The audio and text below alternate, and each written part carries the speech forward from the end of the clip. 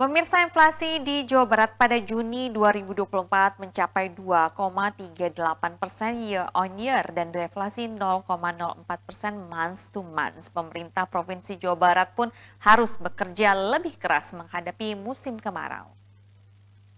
Berdasarkan pencatatan BPS Jawa Barat, inflasi pada Juni 2024 mencapai 2,38 secara year on year atau tahunan sedangkan secara month to month atau bulanan terjadi 0,04.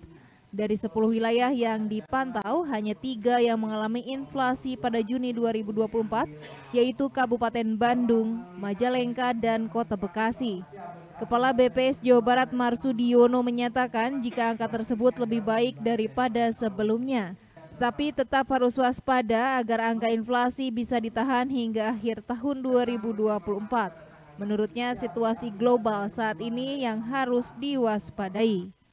Harus optimis, karena yang perlu diperhatikan adalah situasi global. Itu yang susah diprediksi. Kalau cuaca kan sudah juga diprediksi, sudah disiapkan bagaimana pompanisasi dari program pemerintah.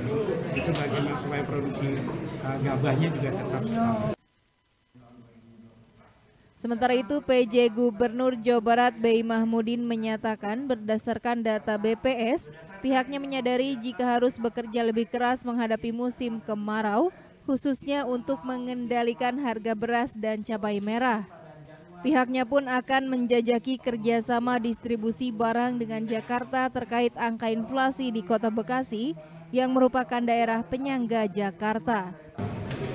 Utamanya inflasi, memang masih dalam target tapi dari tadi paparan Pak Kepala BPS kami harus uh, bekerja lebih keras lagi. Untuk mengatasi uh, musim kering ini kan akan diperkirakan akan terjadi kemarau jadi uh, harga beras dan juga cabai dan juga beberapa yang penyebab inflasi harus kami uh, waspadai tentang langkah antisipasinya mungkin seperti apa?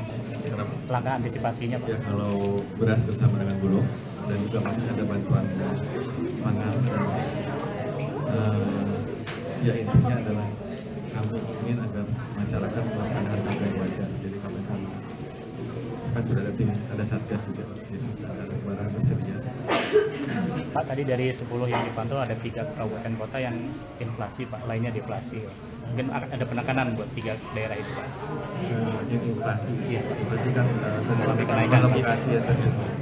Ya tentunya kita akan evaluasi dan juga akan koordinasi dengan kota Bekasi apa penyebabnya.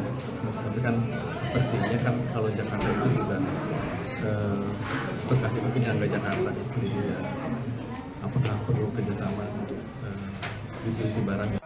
Sementara itu terkait angka kemiskinan, Bay meminta agar para camat memperhatikan pendidikan dan kesehatan anak-anak, khususnya di keluarga prasejahtera. Budi Hartati, Bandung TV